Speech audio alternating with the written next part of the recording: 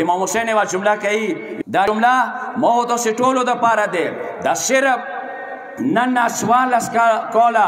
مخکې 1400 سال مخکې نه نن مو د سټولو سره ټولو د پاره حسین دا خطاب ده څه تاسو علماء ته اشاره کوي تاسو خپل سرګو سره سرګ غړوي چې د خدای عهدونه د خدای وعده د خدای سنتونه نن د یزید او یزیدیات لوسخ پونه لاندې شول تاسو سارا پریشان یې تاسو سارا خپګان رسی کدی نیکه وادي ابا وجداد لیاري نیمو کاوړو کې داغ ولګيږي خپل نیکه پر پسېږي خو رسول الله پر نه پسېږي نه مو اخسجا جمله خپل رسومات لپاره خپل ابا او اجداد لپاره تاسو قیام کوئ چې ایمان کې خلاف خبره وشوه ایمان کې رسم خراب شولو هغه خلاف خو پسیږي خو کې رسول الله سنت خپونه لاندې شي هغه خلاف تاسو نه پسیږي دا د حسین دار دی نن ما داسې وکسو چې ما معاشري کې کومې ګناهانې دي کوم منکرات دي نن خپل آبا و اجداد نه ودریګو نیکو باندې ودریګو اسلاف باندې ودریګو امو رسول الله سنا د علی سره د اهل بیت سره څنګه ختم شولو ملي امیر کې ګوريز نه بل ورستا ګناهونه پرشنيږي هغه حواله سره موت اوس کې حرکت نه رسي نن سور افسوس خبره ده خپه نشوي چې ما وته سکلو کې منشيات فروش تا دي آیس ارډیکس تا دي چې ته چوک دوسه په صدا شو چوک د خبره کوي شو زه چا برنه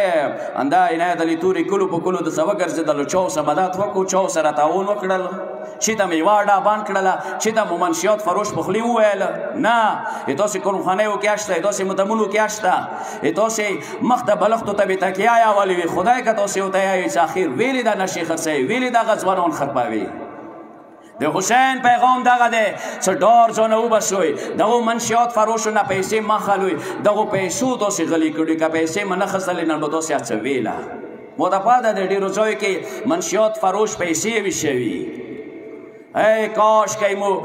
هغه ذمہ داران هغه مشران هغه ټوله مل کر په یوه وحدت باندې شو د مزار کې 13 محرم باندې اتحاد وکړو چې چی ته منشیات فروش ده کم از کم کنور نشو کوي دا اړیخي باندې کوي کلی نه فیو بسوي ځوانان د تخرب کو نن شیا ځوان سره کلام پکور دی هغه سره کتاب هغه سره علم هغه سره معیشت خو نن مو جوان لاس کې منشیات دي آیس دي دغه د پاره اتحاد او وحدت ضرورت ته پکور دی یو ری بیا زه تاسو سره دسه که غوړی چې 13 محرم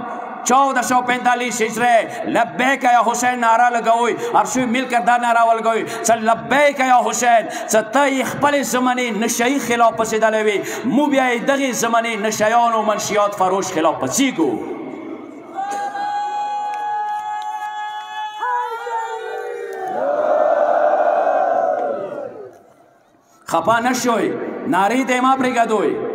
شور ته ما پرې غدوي حقیقت کې ودارې ګوي کشیر سرم ناری وی دا کوفی والا دا ناری لګوالی دا شور چړوالو مو د سی عهد وکو او عهد کو کنه کو امام حسین سره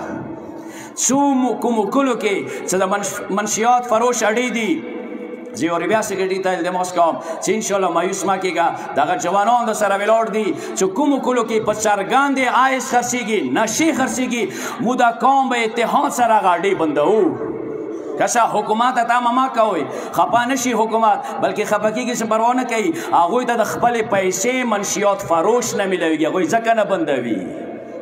یا غوی زمن نه دی یا غوی ته سره د احساس نه کیږي هغه کې د شي نورا خوشحال شي چې خدای دا کوم نشو کې روغ ده کې څو پورې چې کله مو کې نشه روغله بیا مو کې غیرات نه رسی بیا مو کې دفاع ولا سرات نه رسی سپین چې اندلس نه وته ای هغه په دوو واجونه مسلمانانو نه ونیوللو یو یو کې نشه پر شو نکړلې یو خزینه ټیکرای وغورځولو او تر شارو نن حسین سره ورمنې زینب سره عهد وکوي چې یو بي ټیکری دفاع کوي هم خبره منشیاتو خلاف پوسې کوي کچېرې دا دوا شي نه مو کې ارنا وتل بیا جوان غیرت وسی بیا کې دفاع ولا عنصر نه پتی کیږي